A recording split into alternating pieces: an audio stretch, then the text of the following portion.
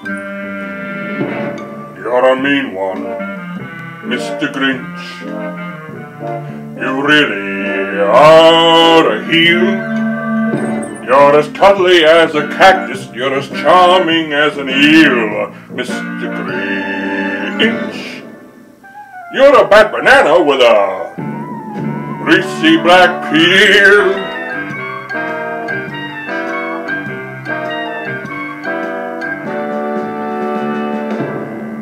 You're a monster, Mr. Grinch.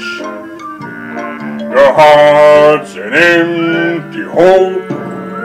Your brain is full of spiders. You got garlic in your soul, Mr. Grinch. I wouldn't touch you with a thirty-nine and a half foot pole.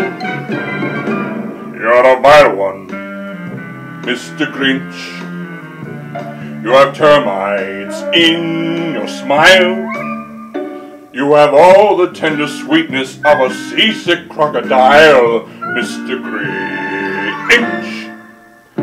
Given the choice between the two of you, I'd take the uh, seasick crocodile.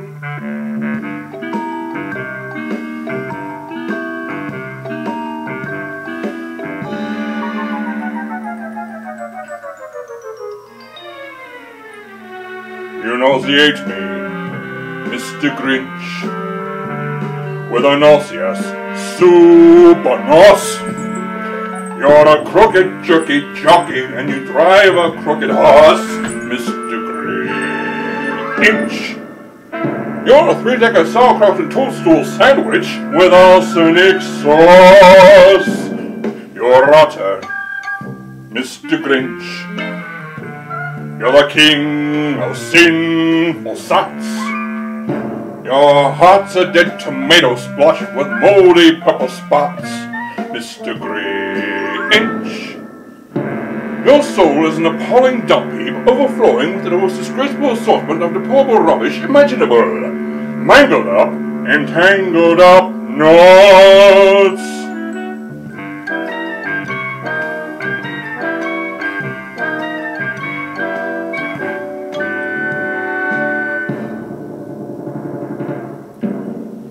You're a foul one, Mr. Grinch. You're a nasty, wasty skunk.